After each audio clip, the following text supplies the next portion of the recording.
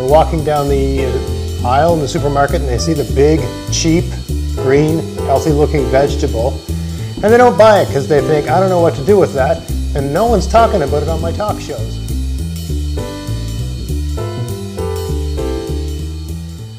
Hey, it's Greg here with MaritimeGardening.com and today I'm going to do a cooking video about cabbage and this is for all the people that are walking down the aisle in the supermarket and they see the big, cheap, green, healthy looking vegetable and they don't buy it because they think, I don't know what to do with that and no one's talking about it on my talk shows.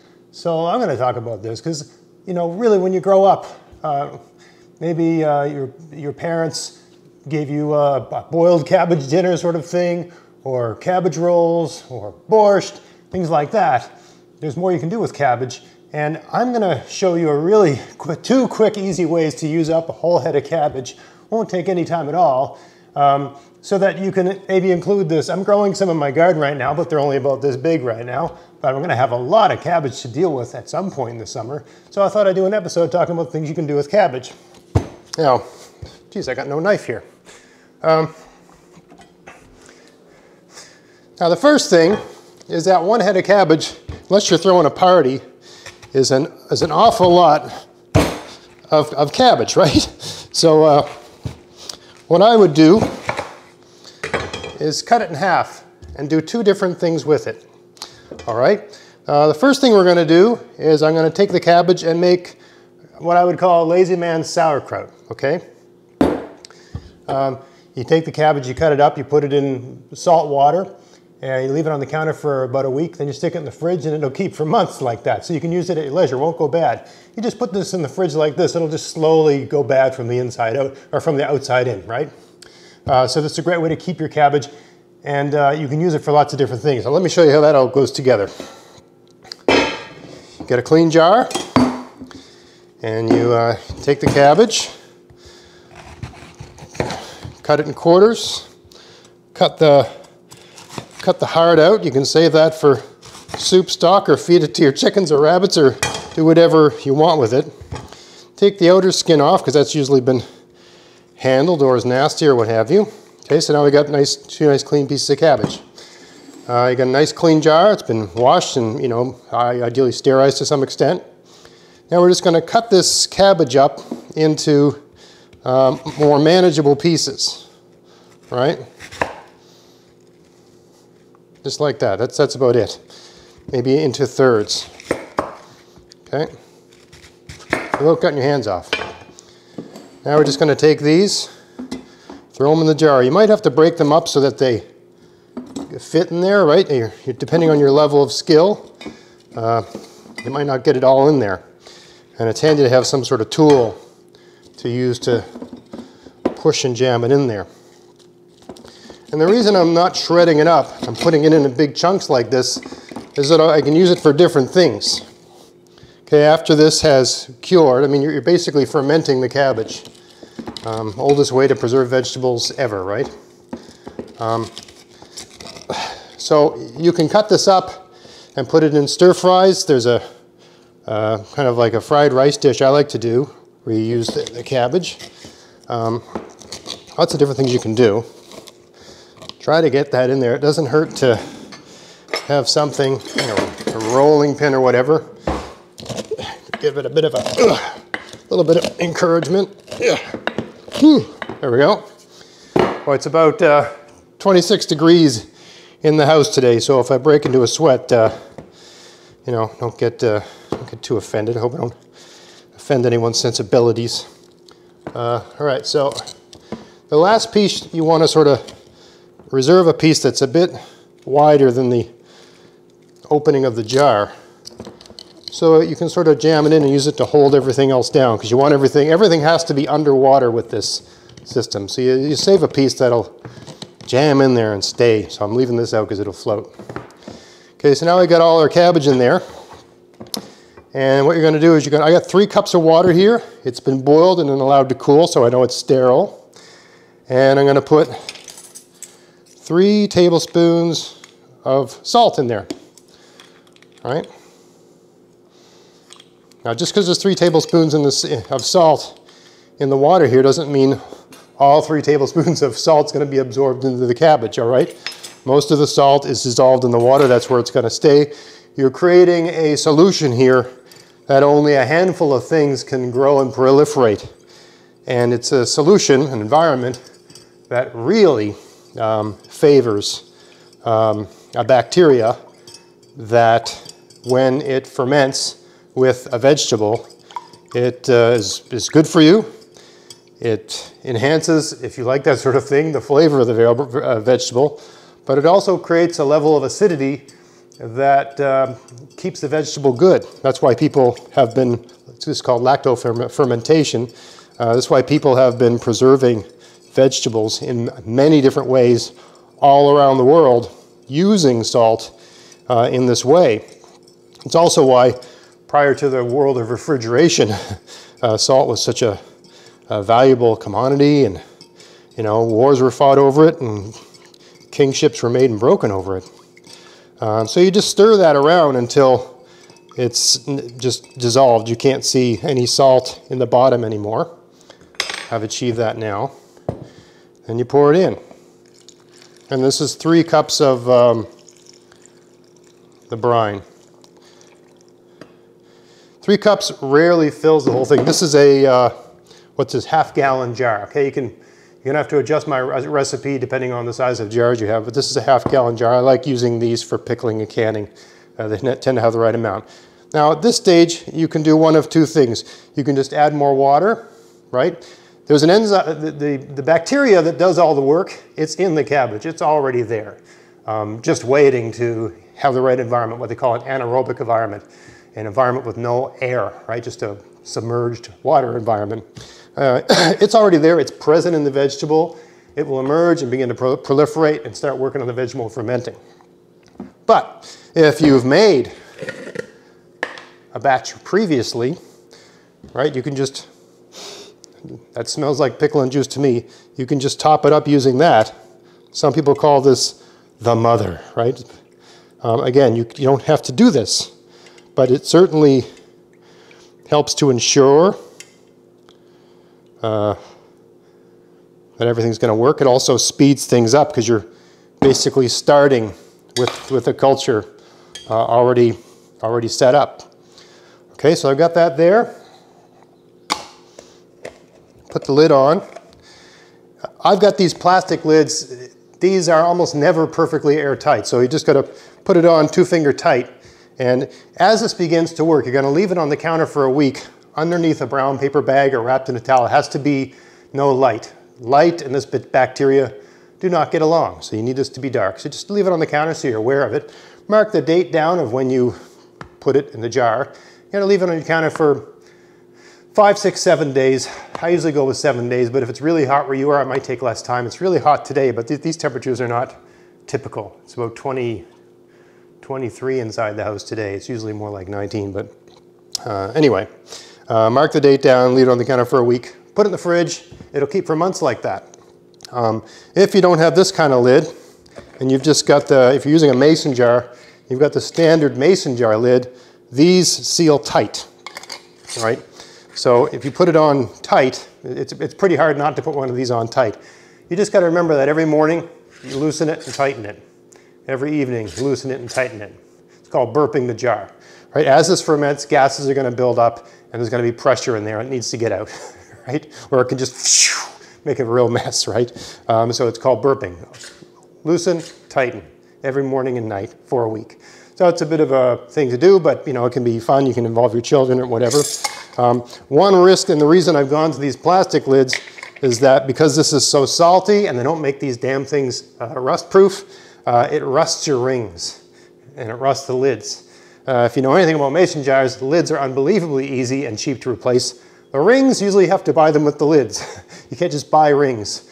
Um, so these will rust out on the inside and they'll never seal properly again.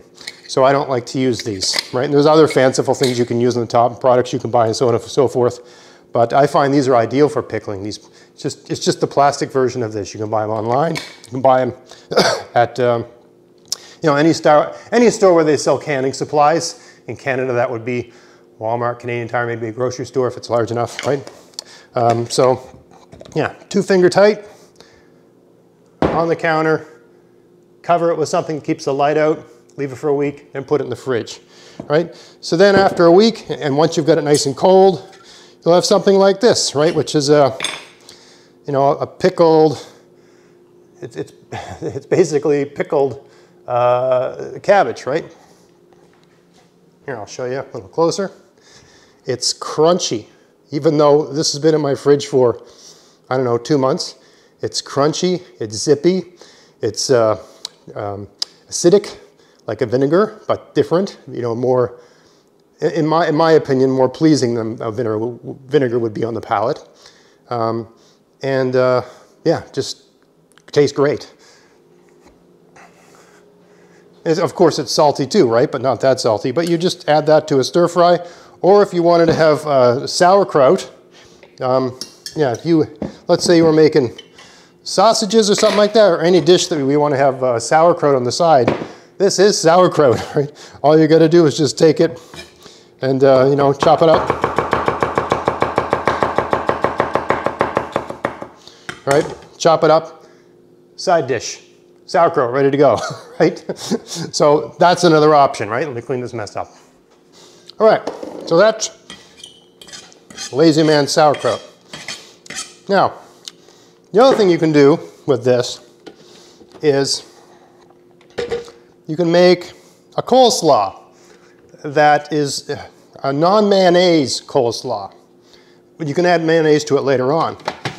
Now, to me, I grew up, and growing up, for me, the best coleslaw in the world was um, Kentucky Fried Chicken Colonel Sanders coleslaw. And the recipe, recipe I'm going to show you here is going to give you a result very similar to that in terms of flavor, all right? So the first thing we got to do is uh, just cut this up so that it's a little bit more manageable so I can get it into the uh, food processor.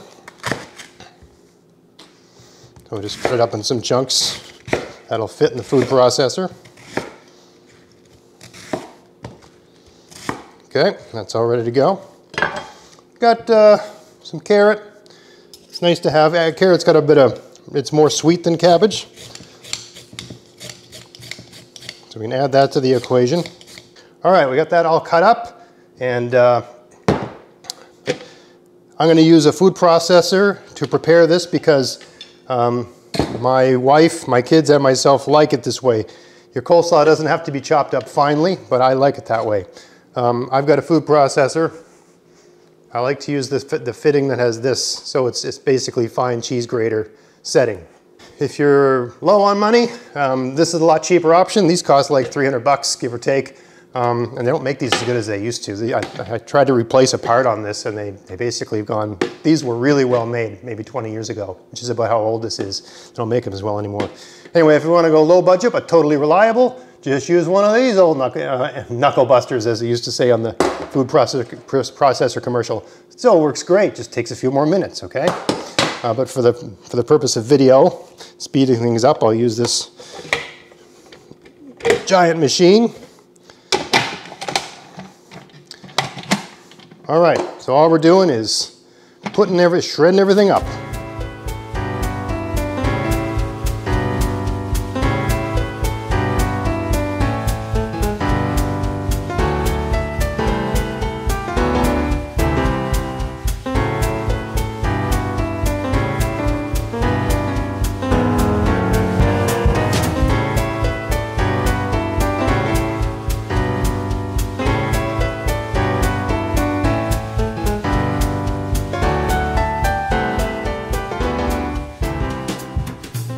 Right, so we got that all shredded up, and you know, one of the main reasons I use half a cabbage for this recipe is that, but that's about as much as you can jam into this food processor.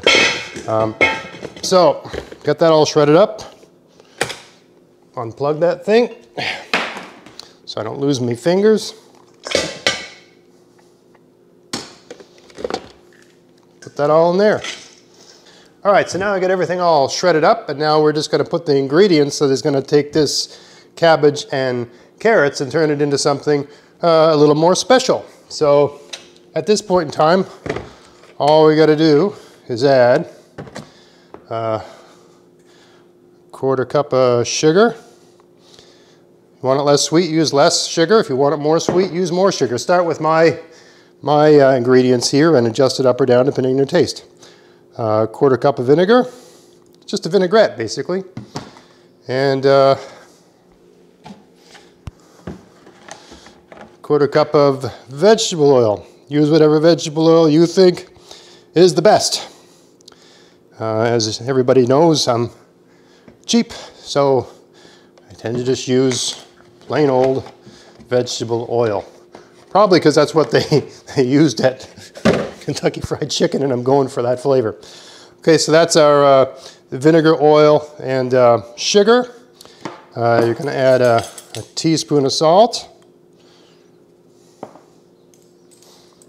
and a teaspoon of pepper. You can use less pepper. I like things a little bit uh, zippy. This is white pepper. Use whatever pepper you got. Okay, and now all you're going to do is take this and mix it around. You just mix it until it's all the same color.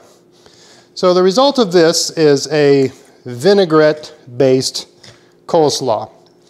And the reason you mix it up like this is because it'll keep for a fairly long time in the fridge. I don't know how long, but, uh, you know, and I don't want to use your own judgment or do your own research or whatever, but um, the difference between this kind of coleslaw and the stuff with mayonnaise in it is that you have to be perpetually worried about the mayonnaise going bad and giving you salmonella and that sort of stuff.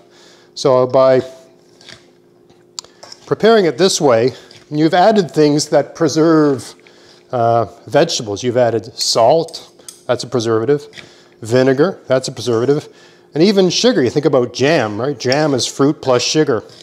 Um, doesn't seems to take forever to go bad, right? So you've added the oil just uh, kind of seals things in and has a nice flavor. The oil really doesn't do much to preserve, I don't think. But anyway, you've what you're doing is, I mean, here you're preserving the cabbage for later use through whatever means, and here you're preserving the cabbage for later use. You want to give this a good mix so that the salt uh, comes into contact with everything. And you know, it's really better, I mean, for theatrical purposes in a video, I just added the ingredients, the, all the ingredients to this. Uh, normally I'd take a mason jar and I put the salt, the pepper, the oil, the vinegar, and the sugar. I put it all in the jar, put the lid on, shake it until it seems to be, you know, combined and pour it in, right? That way you know that it's the salt and the sugar are all uh, dissolved and uniformly distributed throughout the, uh, throughout the vinaigrette. But just by doing this, you'll achieve the same uh, end. And actually by doing this, you're kind of massaging the uh, cabbage a little bit, which does help it um, get soft and break down. All right, so now we've got a, a nice, now you're gonna put this in a container and put it in your fridge and whenever you wanna have this with something, we're gonna have fish and chips tonight, so I like coleslaw with my fish and chips. You know, you, you take this out of the fridge, you give it a bit of a toss around, take out what you need, put the container back in the fridge. If you want this to be that creamy, white, rich, filling, delicious, wonderful, uh, you know, sweet stuff that uh, you get from the store, uh, if you want that, all you got to do is add mayonnaise to it. And if it's not sweet enough, add a little more sugar to it. It really depends on your taste, or if it's not salty enough or not peppery enough, whatever. Right? You just adjust it, right?